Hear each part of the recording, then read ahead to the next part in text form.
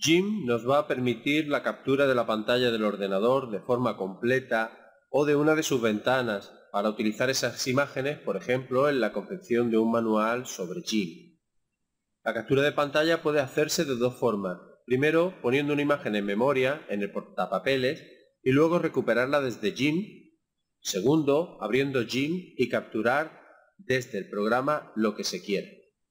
La primera opción es desde el portapapeles. Voy a poner como ventana activa la del procesador de textos.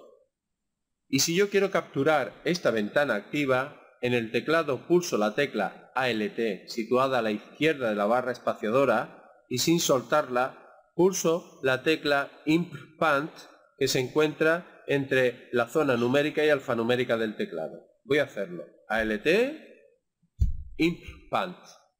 Con esto esta ventana se ha colocado en el portapapeles.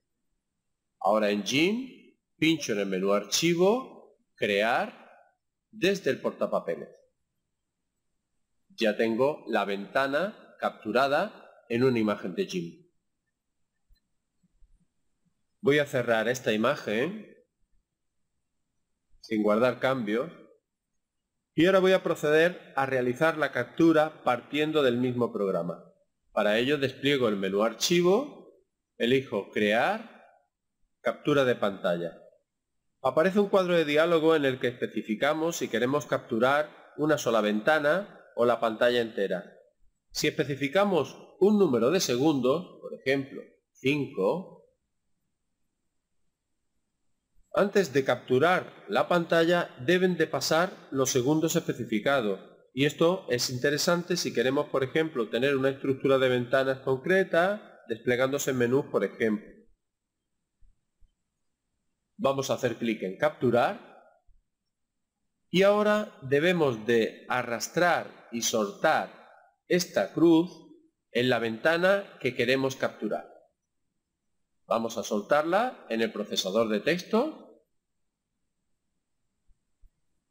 y transcurrirán 5 segundos antes de que capture la imagen.